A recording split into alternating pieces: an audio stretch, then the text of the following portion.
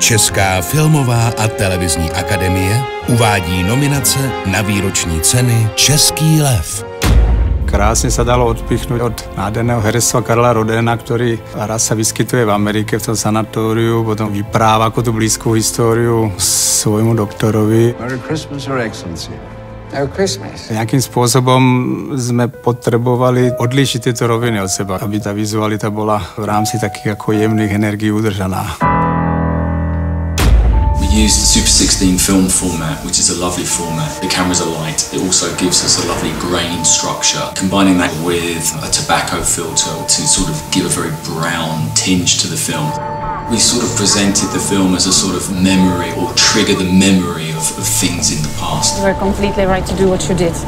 Já vzpomínám na to natáčení rád, protože mám rád Petra Václava. V bordelu se mi točilo jako kdekoliv jinde. Byl jsem rád, že to dopadlo tak, že jsme točili vlastně v reálném bordelu. V jednu chvíli jsme uvažovali, že by se to někde jako udělalo, ale samozřejmě to reální prostředí je lepší. Jsem vám přišla říct, že vás miluju. Koncepcja wizualna filmu ustalana była w czasie rozmów z reżyserami. Oni chcieli e, film, który w jakiś sposób by nawiązywał formalnie do tego czasu. Lidej, já se tam musím ještě vrátit. Bardzo statyczny obraz, bez ruchu kamery, bardzo długie ujęcia, tak zwany master shot. Ja bardzo lubię ten rodzaj sztuki operatorskiej, tak powiedzmy. Lednice byla výjimečná v tom, že v roce 2015 se nám to povedlo natočit ještě na film, takže proto má i tak krásný vlastně look.